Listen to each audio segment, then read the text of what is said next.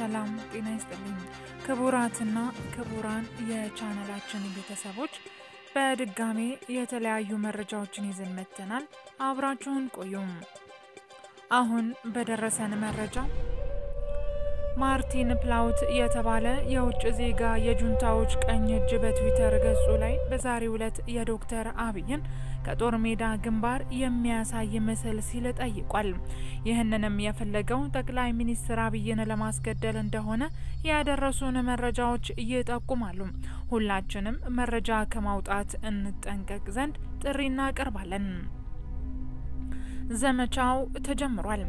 የአሜሪካ የእርስ በእርስ ጦርነት የተጀመረው በቻርልስተን ቤይ በሚገኘው የፌዴራል ጦር ሰራዊት ላይ አማጺዎቹ በፈጸሙት ጥቃት ነው። በተመሳሳይ ህወሀት በሰሜን እዝ ላይ በተኙበት ጭፍጨፋ ፈጸመም። የወቅቱ የአሜሪካ መንግስት በአማጽያኑ ላይ እርምጃ ወሰደ። ፕሬዚደንት ሊንከን ጦር ግንባር ድረስ በመግባት አሸባሪ ያላቸውን ኃይሎች ሲዋጋ የሚያሳይ ምስል ነው።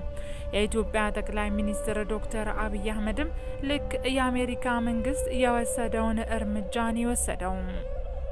በተጨማሪ መልእክት የኢትዮጵያ ወቅታዊ ሁኔታ የመኖርና ያለመኖር አደጋ እየተደቀነበት በመሆኑ ጠቅላይ ሚኒስትራችንን መከተል አለብን።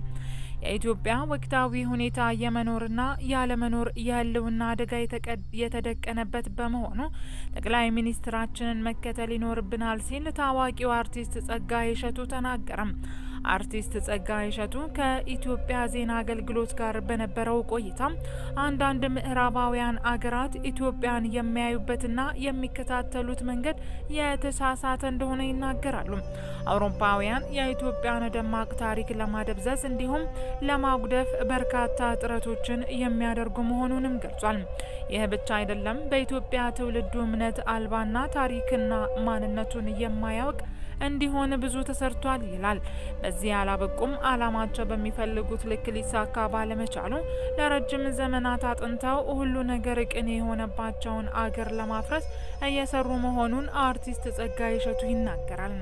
የኢትዮጵያ ጠላቶች የያዙትን እኩይ ዓላማ ጠንቅቀው የሚያውቁት ጠቅላይ ሚኒስትር ዶክተር አብይ አህመድ የኢትዮጵያን ሕልውና ለማስጠበቅ ወደ ግንባር ዘምተዋል።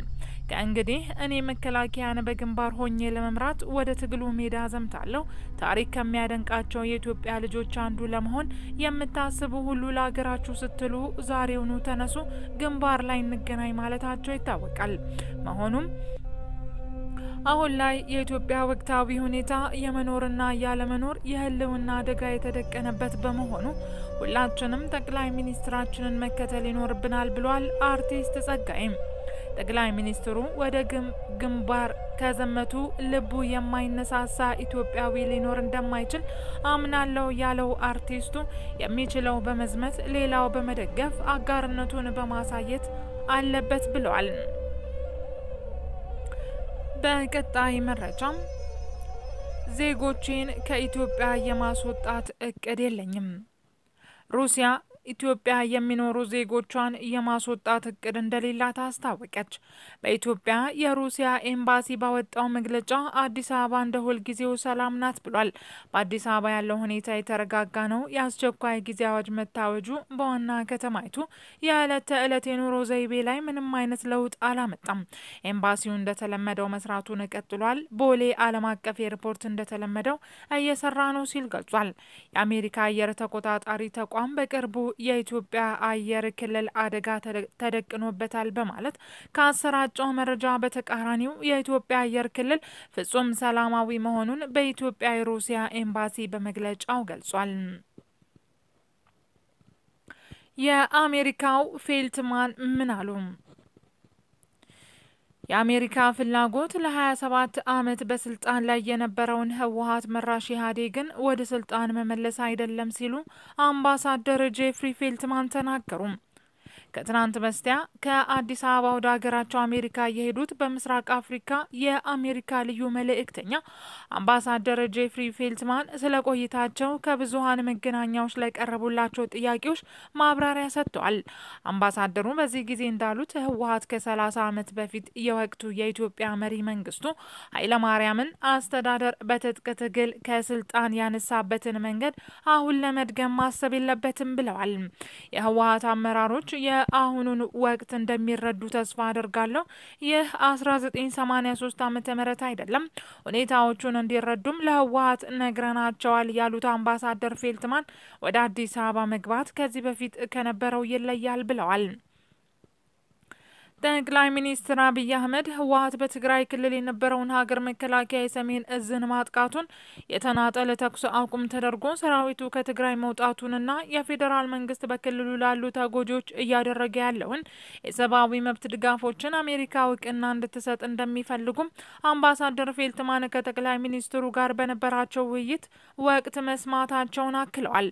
ጠቅላይ ሚኒስትር አብይ አህመድ ባለፈው ሰኔና መስከረም ወራት ላይ በተደረገ ምርጫ ተመርጧል ያሉት አምባሳደሩ የአሜሪካ ፍላጎት ለ27 ዓመት በስልጣን ላይ የነበረውን ህወሀት መራሽ ኢህአዴግን ወደ ስልጣን መመለስ አይደለም ብለዋል። ጠቅላይ ሚኒስትር አብይ አህመድ ህጋዊና በምርጫ የተመረጡ መሪ ለመሆናቸው እውቅና እንሰጣለን። ይሁንና አሜሪካ በሰሜኑ የኢትዮጵያ ጦርነት ዙሪያ ለየትኛውም አካል ውግንና የላትም ሲሉም ከጋዜጠኞች ለቀረበላቸው ጥያቄ ምላሽ ሰጥተዋል። የአሜሪካ ፍላጎት ጦርነቱ በቀጠለ ቁጥር ወደ ችግር የሚገቡ ዜጎች ቁጥር ይጨምራል የሚልና የሰብአዊ መብት ጥሰቶች ይጨምራሉ፣ እንዲሁም ሌሎች ያልተጠበቁ የኢትዮጵያን አንድነት የሚጎዱ ችግሮች ይከሰታሉ የሚሉ ስጋቶችን ለመከላከል ነው ብለዋል አምባሳደሩም።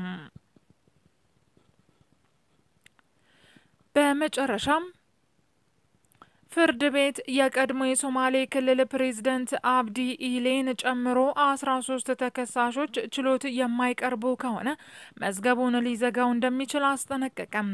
የፌዴራል ከፍተኛ ፍርድ ቤት ሁለተኛ የጸረ ሽብርና ህገ መንግስታዊ ጉዳዮች ወንጀል ችሎት የቀድሞ የሶማሌ ክልል ፕሬዝደንት አብዲ ኢሌን ጨምሮ አስራ ሶስት ተከሳሾች ችሎት የማይቀርቡ ከሆነ መዝገቡን ሊዘጋው እንደሚችል ያስጠነቀቀው በዛሬው ቀጠሮ ባለመገኘታቸው ነው።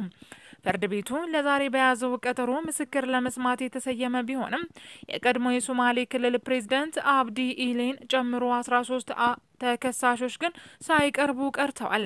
ታሳሪዎቹን የማቅረብ ኃላፊነት ያለበት የፌዴራል ማረሚያ ቤቱ በሀገሪቱ ካለው ወቅታዊ ሁኔታ አንጻር ተከሳሾቹ በልዩ እጀባ የሚታጀቡ በመሆናቸው የፌዴራል ፖሊስ አጃቢዎች ግንባር ላይ በመሆናቸውና የሰው ኃይል እጥረት ስላጋጠመን ማቅረብ ስለማንችል የተራዘመው ቀጠሮ ይሰጠን ሲል በጽሁፍ አመልክቷል።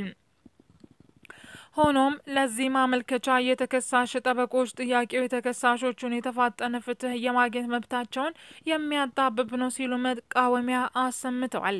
አያይዘውም የቀረበው ምክንያት አሳማኝ አይደለም ያሉት ጠበቆቻቸው ባለፈው ቀጠሮ እንዲቀርቡ በፍርድ ቤቱ የተሰጠ ትዕዛዝ ያላከበረ ነው ተደምጠዋል።